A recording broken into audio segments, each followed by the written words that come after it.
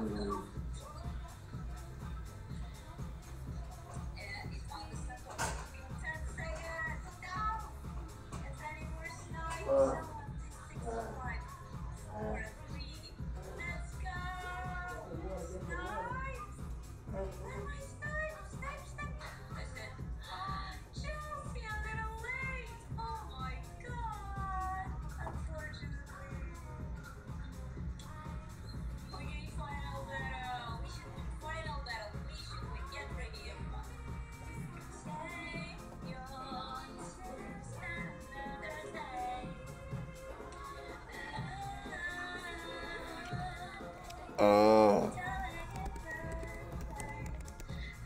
I should stop recording, man.